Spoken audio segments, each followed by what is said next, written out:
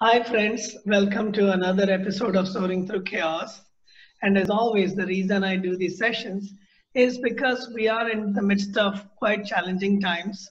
The pandemic has cost many lives, also created a lot of anxiety, uh, you know, uncertainty around what can happen, both to our health, to our friends and family, to our jobs, our, you know, means of livelihood.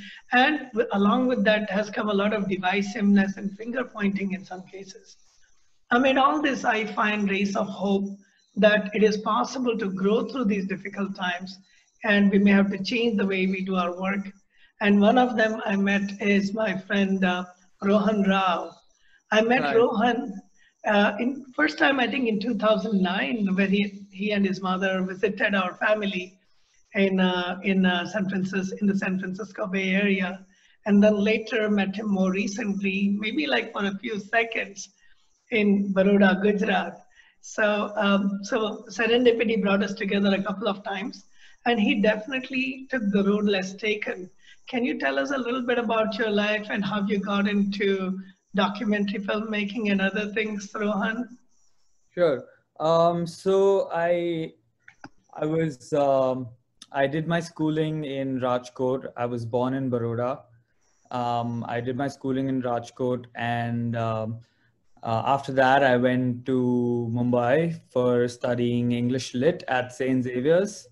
And um, after that, I came here to the US and studied documentary films. Um, that was a master's degree. And now I'm working at a production house here in New York City itself. Wow. And you know what's interesting? Most people want to run away from New York City because of the reputation it achieved that it was the epicenter not too long ago. What gave you the courage to go to New York City to do documentary films at this time? Well, so um, I would say the biggest thing that kept me here when the pandemic was still on was uh, just the fact that I wanted to live my dream um, I had one, I have this one chance, you know, to sort of explore what I really want to do and work with amazing people. And um, I just didn't want to um, run away from that opportunity. Um, I just sort of tried de- tried to deal with it. Um, I, you know, a lot of patience. My roommates were really nice. We bonded over that time. So I had company. Uh, we supported each other. Uh, they would help me write emails to different companies when I was applying for jobs. Um, I would help them with something else. And um, so it was just, um, yeah, it just took a little bit of patience and things are getting better here, at least in the city. Um, so yeah, just a little bit of patience and I guess just this wanting to do something kind of a feeling kept me here. Oh. Yeah. Right. So, um, and also what I did was I stopped reading the news. Uh, that really helped me. Uh, you know, it was just too many negative things going on, and that was sort of affecting my moods and behavior in general. Uh, so I just decided not to, you know, go through the news every morning. And um, I would just wake up, I would make coffee, I would sit, I would apply for jobs, I would work on, on my films. Um, and it was only, I used to only think about my jobs and my film. That's it and whatever little we would have fun we'd have fun with my roommates and they were really supportive throughout. And um, so it was just that. So i just kept that as my main focus and everything else just didn't matter for a short period of time. Well indeed that's very courageous. And uh, i keep hearing rare stories of uh, bravery through this period and um, I would love to know more about your documentaries uh, and your uh, photography. Are there any clips you can show us so we get uh, an yeah. idea of what you do? Sure, sure. Uh, I made this film in 2019, in May 2019, and uh, it um, screened at uh, this festival called Doc NYC, which is um, the biggest nonfiction film festival in New York. Um, and um, it played there last year in November. So I can show you maybe uh, two or three parts from the sure, film. Sure, sure. It'll be. I can see it now. Yeah. Um, I'm gonna play it.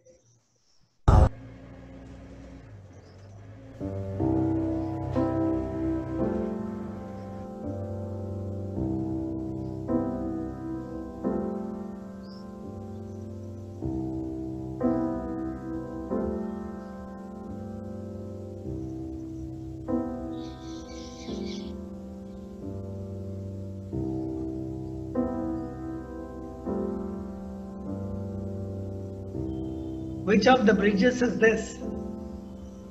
I actually don't know what bridge this is, but uh, my taxi driver took me to um, a lot of cool places in New York and he explained a lot of interesting, you know, he gave me a lot of interesting facts.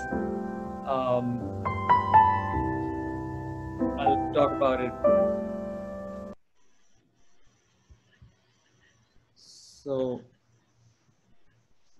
Let's see. So, that was one part. And uh, this is a part that sort of um, you know romanticizes the city. There's jazz music playing and there's this taxi driver. So this film is basically about this taxi driver who's been driving a taxi since uh, 50 years and um, since 1969 and um, you know now he's come to a point where he has to decide whether he's going to be able to ride a cab or I mean, drive a cab or not because of the private sharing companies that are, uh, you know, creating competition and um, also government taxes because in New York City, when you take a cab, there are these additional taxes which the customers have to pay. But because of that, they've sort of stopped taking these yellow taxis and they're choosing Ubers and Lyfts or Via or something like that um, as you know alternatives. Um, so this is more like it's this. It's about this taxi driver who might just lose his job, um, and he's 76.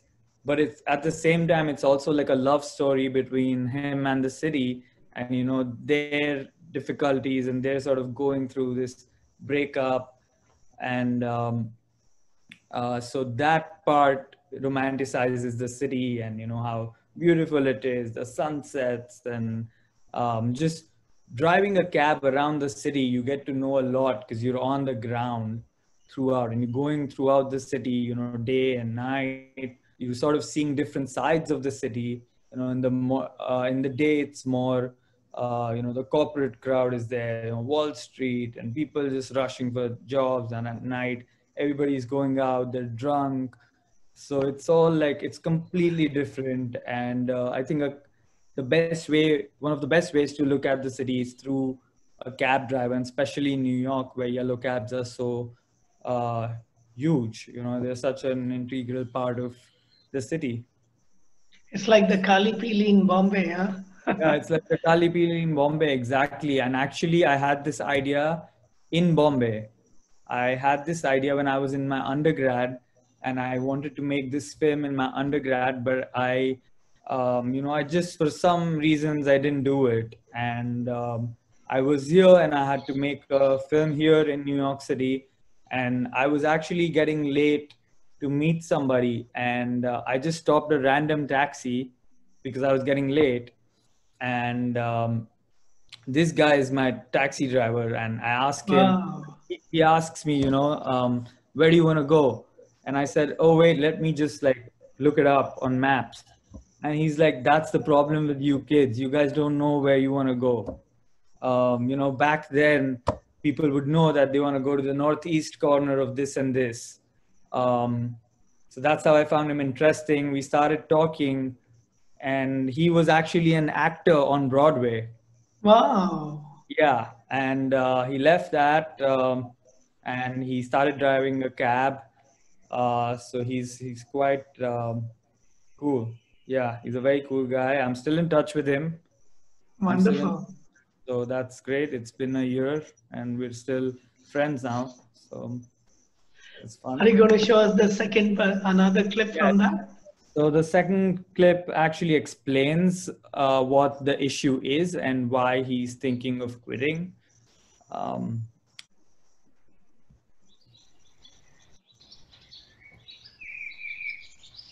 Most of these cabs are actually active cabs because they've got the medallion on them. So these cabs aren't running simply because there are not enough drivers showing up to drive them. The reasons for that are competition from the uh, ride sharing people and the last straw was the mayor, corporation and governor deciding that yellow cabs should be subsidizing the subway. So they've slapped a $2.50 congestion charge on every ride below Manhattan, every ride in Manhattan below 96th Street, uh, which has depressed ridership to the extent that it's hardly worth doing at all.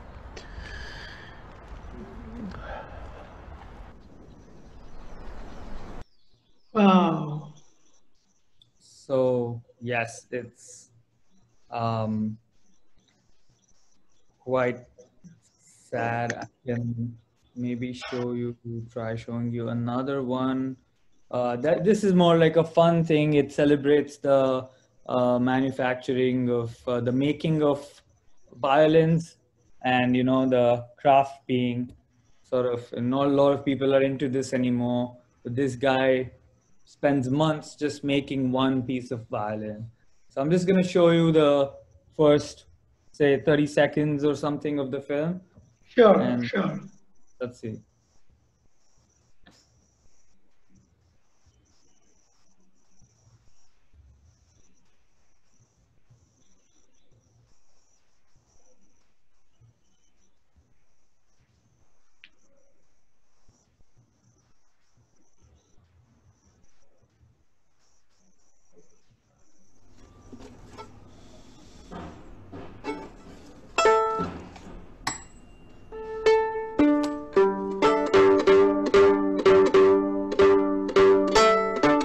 Not a very good violinist. I wanted to make a tool for other artists to use that might then be used to make something beautiful.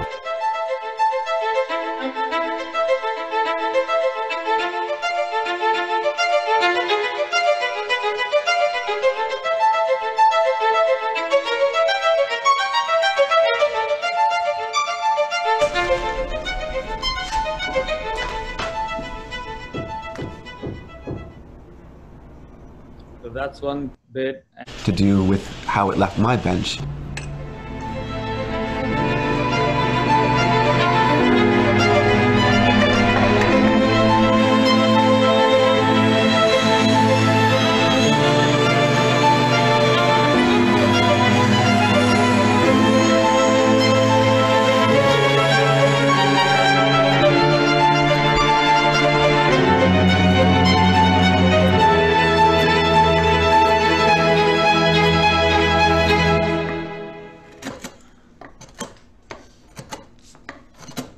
Full contact sport, man. You know, I like that part of it. So yes. Wow, I love that line when he says it's a full contact sport, man. Sport, man. And you know, yeah.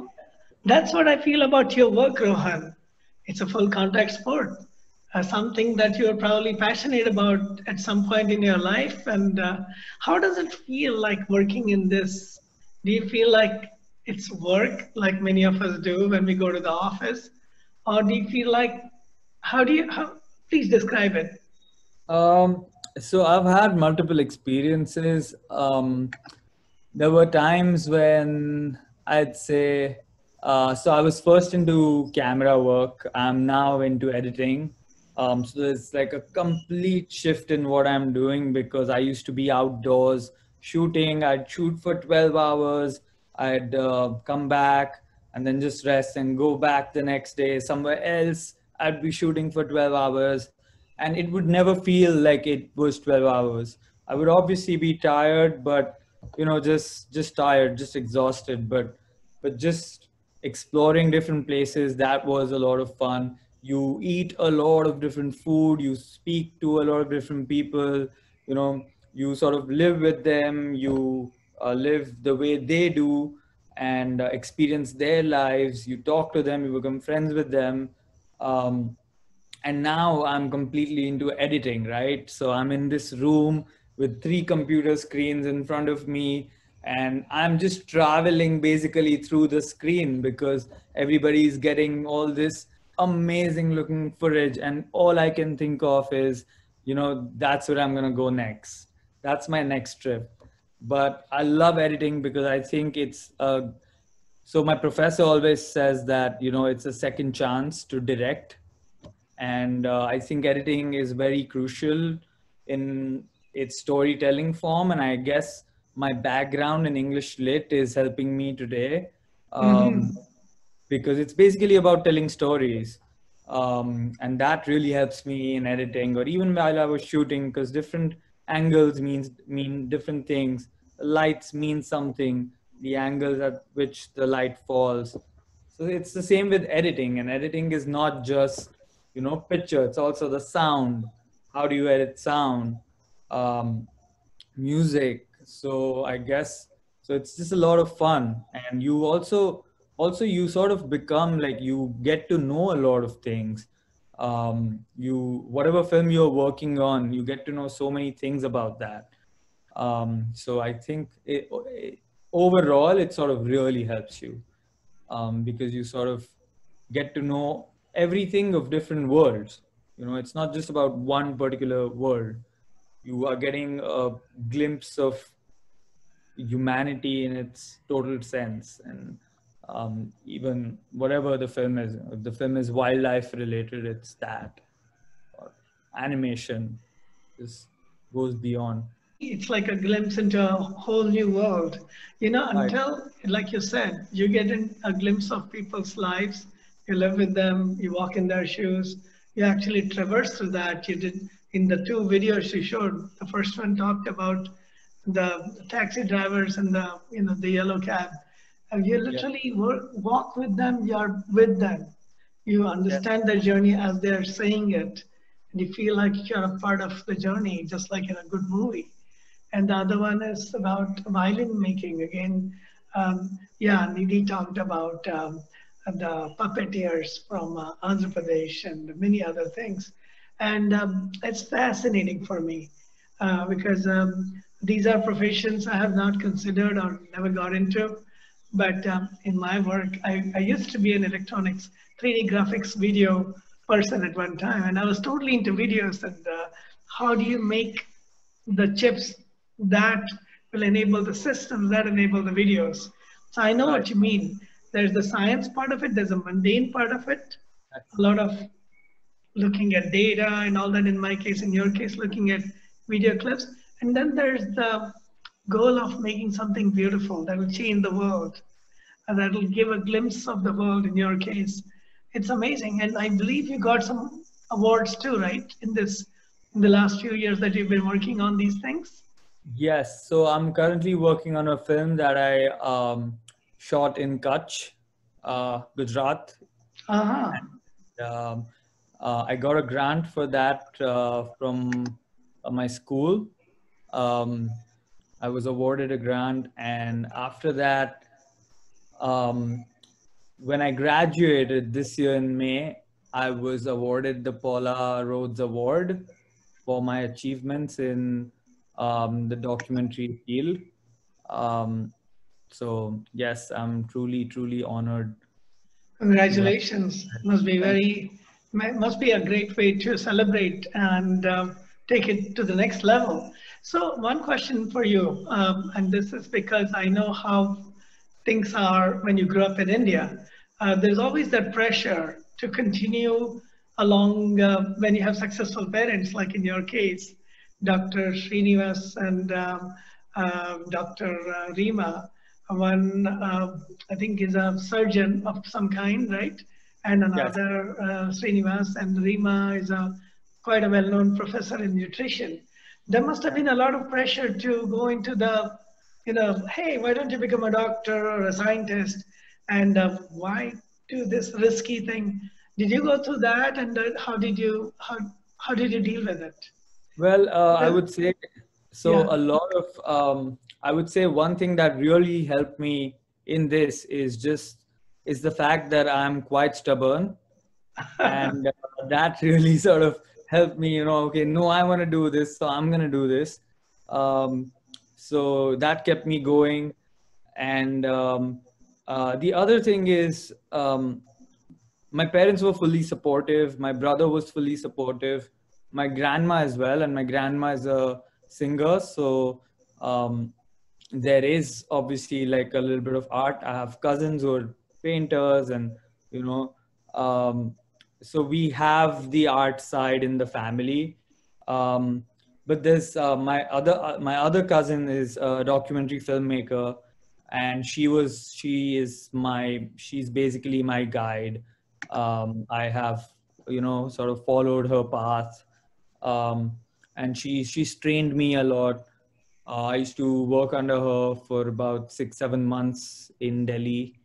Um, so there was obviously pressure in the sense that uh, a lot of times when you meet family friends or you know just anybody in general, they'd be afraid like, oh, you want to get into filmmaking? Are you sure? Like there's enough. You know, what about the money? At some point, you need to be stable, and obviously these things, uh, you know, they start playing in your head that oh yes i um, think i have to be a little more stable um, what am i going to do but uh, at the same time like there have been a lot of uh, um, improvements in terms of uh, filmmaking and film quality and the, the audience has really sort of improved uh, in india. Uh, they're now into you know more into documentaries tv shows and you know with netflix coming in and amazon and hulu and these things coming up. Um, the scope for filmmaking has really really increased. And um, i mean all my friends right now what do they do like sitting at home during the pandemic? They just watch movies. They just watch tv shows. And for entertainment. So yeah. Yeah. Yeah. And um, so i guess there's always uh, the scope's really you know increasing. And i guess people are sort of realizing that these could be potential career options um, so that's one that's one thing that's really good. Um, again i'm into a specific kind of i'm into this specific documentary filmmaking which again i know it doesn't have so much money but i still want to pursue it because it you know it just educates me so much and i'm just so passionate about it. Um, but i would to answer your question i'd say that most of the pressure that came was from outside the house um, from people who knew us or people you know like the dairy guy next to the house he would ask me oh you're you're also going to be a doctor, right? When are you going to be, become a doctor? So, and you know, I just didn't have like, I just didn't have, I, I just wouldn't, I just didn't want to argue with them or sort of tell them what I really want to do. Um, yeah. So I be like, yeah, I'm going to be a doctor one day. Yes.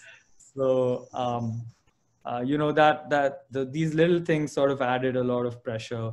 And obviously being here, um, in New York, and you know, I had uh, I didn't have like a great school experience, um, and so I had to sort of prove to them that okay, I'm good at this. I want to do this. It was something different. Nobody was doing it at that point in time. I don't know if there's still if some somebody's doing it now. Um, so just sort of proving to them that I'm into this. Um, that also obviously I wasn't great at studies. I was good. I was average. Um, oh, you mean in terms of grades that you got in school? Yeah, in, ter- in terms of grades, like I wasn't the best, or I wasn't like even you know I was I was above average, but yeah that, that's pretty much it. But i was always more into sports or music or film and photography. That that's what i used to do. And i used to talk to everyone. Wow i used to talk to everyone in school. So i still remember all their names what they did what they used to like. Um, and that actually still helps me because it helps you make contacts. It helps you keep in touch with people. And filmmaking as an industry it it's all about contacts at some some level. Um, so the more people you know the better it is for you. In in whatever you want you know you want to shoot a film who do you call? How do you know a camera guy? So if you talk to people you'll know. They might refer you to somebody else. So you never know who knows what and everybody is connected in some or the other way with each other. Um, so I guess, you know, just talking to everybody back in school and in college has really sort of helped me. Um, and to those who are watching, I mean, we have this narrowly defined uh, view that somebody who is intelligent, somebody who is smart will do good in school, mathematics, physics, or history, and all that. Unfortunately, that's a very, very narrow view. Um, some of the greatest minds on earth, like uh, from India, that would be like Sachin Tendulkar playing cricket or Sunil Gavaskar. They didn't, from what I know, they didn't do well in school. Some of the great movie actors, some of the great artists, because um, it's like if everybody, there's a joke about this, but if all the animals were given a test and who climbs the highest is the bravest or the best animal, then elephant is going to fail and so many other animals are going to fail. And who goes deepest in the ocean, many terrestrial animals have failed. So we cannot have a one size fits all measurement system. And uh, unfortunately, a lot of children, uh, young people, including my own youngest brother, succumbed to it and lost a lot of confidence. I wish we had more flexibility in our system. It's happening, but very slowly. So, yeah, so with all this, now we are in the midst of the pandemic, uh, quite an interesting time, and New York City, as you know very well, was quite badly hit. Um, has your life changed? Has your work changed during the pandemic? The way you do, you cannot just go and make films outdoors, right? How has it changed, and where do you see the gift in it? Wow, so it's changed a lot. It's changed a lot, and you know. Um, in a lot of different ways. Uh, so one thing I'd say uh, it changed um, because you can't really go to the subject's house and you can't really shoot and you can't really uh, you know talk to them. You can't really sit next to them. You can't go close. So there are lots of these things that are you know stopping uh, the crew from going anywhere. And uh, so what they've been doing is they've been giving cameras to the subjects themselves and they teach them over Zoom call how to set things up. Wow. one person would go from the crew and set the lights up, and then they'll have a Zoom interview. So they'll form the frame, but using the webcam, like, you know, just Zoom or something. Um, or like, yeah, I guess it's mainly Zoom these days. So I'm just going to say Zoom. But uh, um, you know, there, this cameraman, I mean, and then we just get like footage from, say, if four people are zooming together, then I, I get like four views. And then, then, then there's the gallery view. So basically for one conversation, you automatically have five camera angles, right? Oh. Focusing on different people. Um, and the audio is obviously almost automatically recorded they do have external audio uh, just in case you know. Um, so that's been going on with in terms of shooting. And the other interesting very very interesting thing and this my camera professor said to me was that d- during the pandemic because everybody is wearing masks you don't really know what they're talking right? Because they're talking like this. So you yeah. don't know what they're actually saying so when you sit in the edit room and when you're cutting, you can just cut any voice over whatever they're saying because if they have a mask on, if you're outside with them and you're shooting and if they have a mask on, you it's not important that they're in sync. The video and audio have to be in sync because you can insert any audio piece over that video. So Very that's, interesting. That's super interesting. Um, So you don't need to do lip syncing anymore. Yes, exactly. it's So the you- exact opposite of lip syncing. yeah so that's that's one great thing you can you know it's it, it's very flexible now uh, if if somebody is wearing a mask um, and the other thing is that uh, for me i got this job okay right and this is like this was my dream job and i got this during the pandemic. And i get a call saying hey uh, can you come to my place and pick the keys up and uh, you know go to the office and work? And I said, okay, cool, sounds good. So I just I go to that person's place, I take the keys, I go to the office, and I'm alone in the office, and they're giving me all this work, and there's this pressure of you know proving to them that you're good at your work, but at the same time, okay, I was living my dream, but I'm somewhere I'm living it alone because I don't have the space, the office space. I'm not able to share it with people. So um, yeah, I'm sort of alone in the office for like 10 hours a day. Um, Wow. although- yeah, so I'm just working, but I'm alone.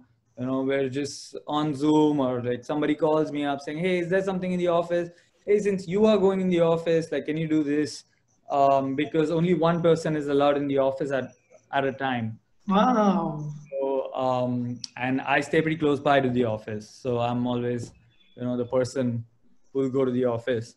Um, so that's, that's, that's quite interesting as well because, because, uh, I'm sort of, you know, I, I, I achieved what I wanted to in these couple of months and, but I'm still alone because, and, and that's just, it's so weird.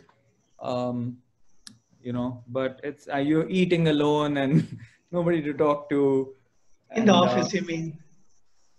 uh, yes in the office. And my uh, editor is um, somewhere outside like some in some other country. So she has access to this computer remotely. So she accesses these computers remotely from that country and then she'll she and i will work on this software together. So that's also quite interesting you know you're sitting in two different countries and working on the same project at the same time um, time zones because when her work day gets over, mine just starts. Um, so you have to match those. So there are there, there are lots of, uh, but these are really uh, this actually. I'm glad I, I'm glad I got this job at this time, or I'm glad I am in New York City at this time. You know, working in the industry because I feel like this is gonna prepare me for the future. Um, in case something like this happens in the future, I'll know what to do. Um, so I'm I'm glad I'm in the city. I'm glad I'm working with professionals who are finding really creative ways to do things, and it just goes. Sometimes it just goes beyond my understanding. They do such amazing things, um, and I'm just glad to be a part of it. Yeah, it reminds me of a test that of uh, coming of age that some people go through called Agni Pariksha, or uh, in English that would be like walking on fire, or you know, literally walking on uh, hot coals. So in many ways, a lot of us are going through that, and you're going through that right at the beginning of your professional career. And um, do you have any suggestions for people? I see a lot of sadness, it's a lot of grief, a lot of confusion, even about how to deal with the current times, um, especially among young men, uh, young people uh, going through, um, you know, at the beginning of their career, also in midlife. And um, I would love to hear your words about how to deal with it. I mean, you mentioned your own experiences. Do you have any suggestions for people? So I think one of my biggest uh, suggestions, although I, I don't know if I'm in the place to give one, but um, um, I think the biggest probably suggestion I would give is that take things day by day, step by step, because um, you know don't don't think about what's gonna happen one month from now. Don't think don't even think about tomorrow. Just just let today pass by and then face tomorrow when you wake up and you know because because this because 2020 has just been surprising us. It's just getting worse, and it might even get even worse than this. So just take it step by step and day by day. And I think that's that really worked for me.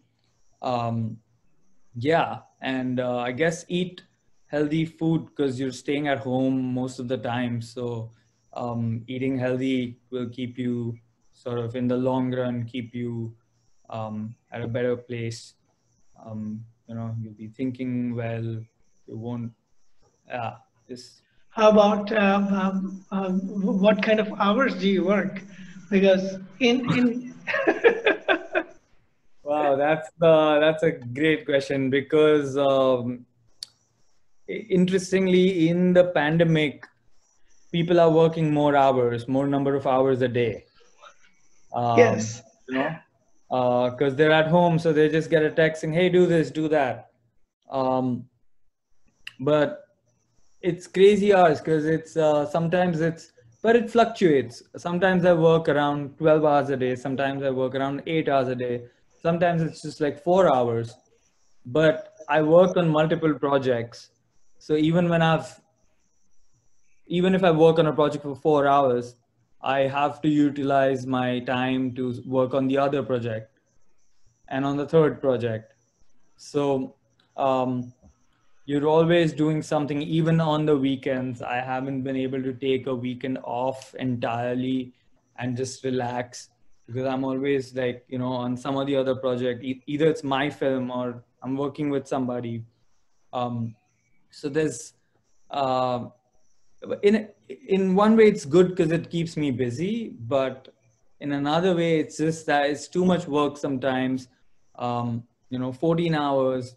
So you never know what's gonna happen and on shoots usually there is there are delays.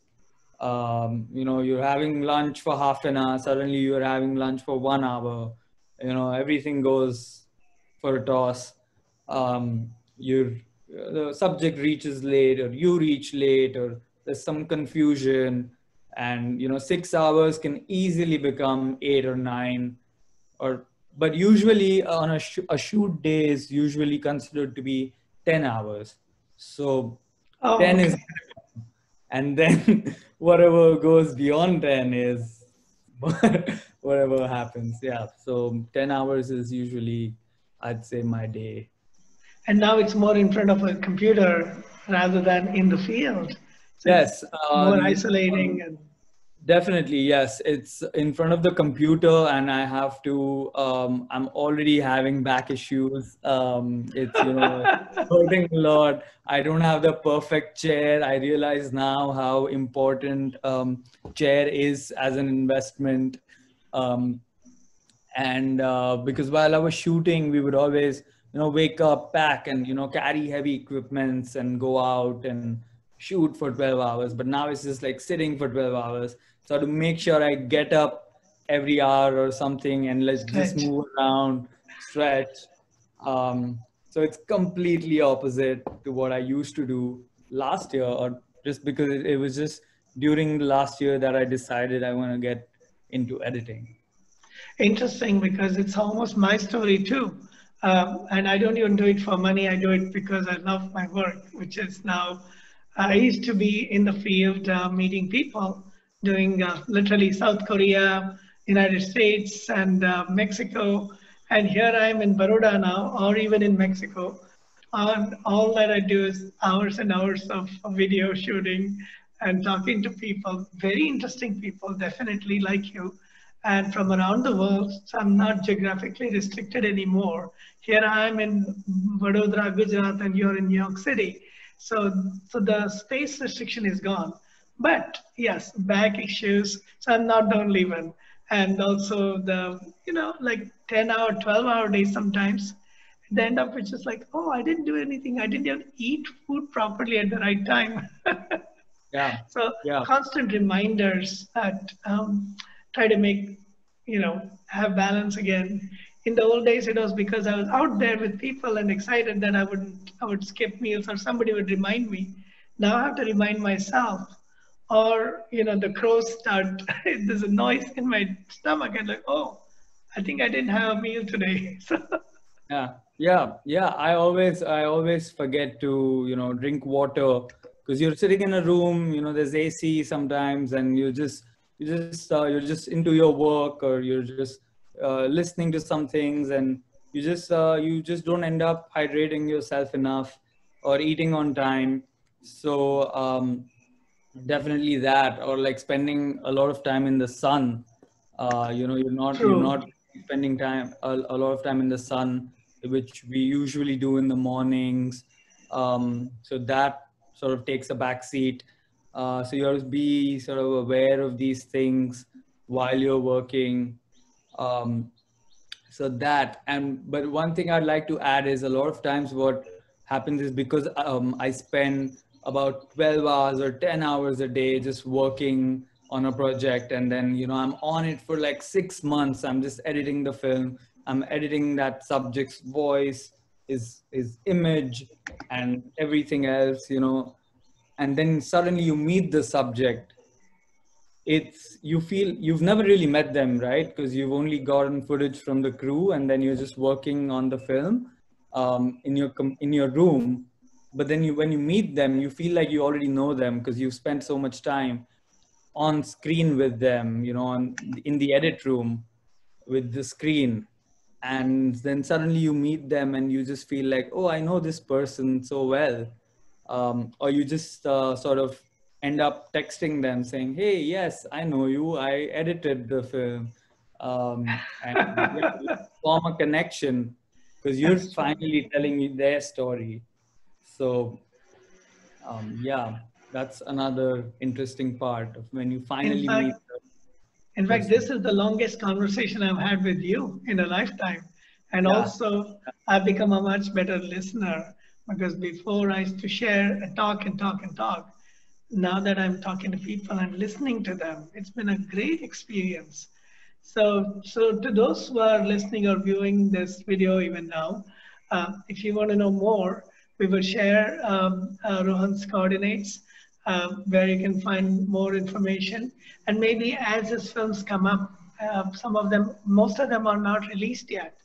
Uh, we will add the links to them when they're available for viewing and um, how to reach out to Rohan or to me.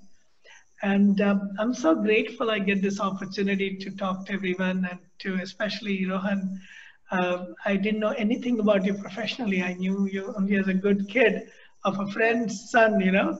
And it's a beautiful thing to be able to see you on this side and the courage you've shown in staying in New York City, going through the pandemic, and saying, Yes, I will do the work. And when you got the opportunity to jump into it, there's a lot we can all learn from each other about how to, it's like courage in the times of Corona, something like that.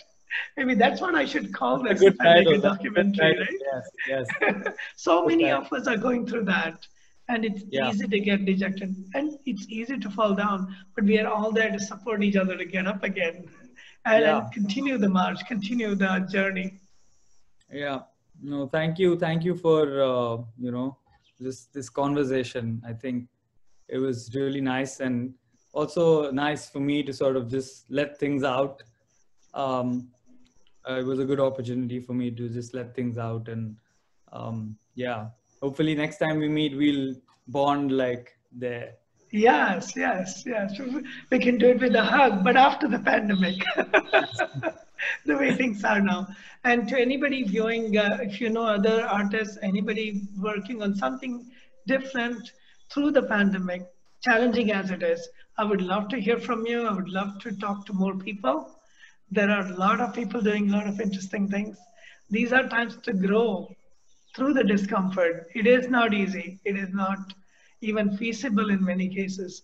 Yet people have shown so much grit and grace and have gone beyond the you know beyond the limitations. So glad to be of service and to be sharing all these stories. Thank you.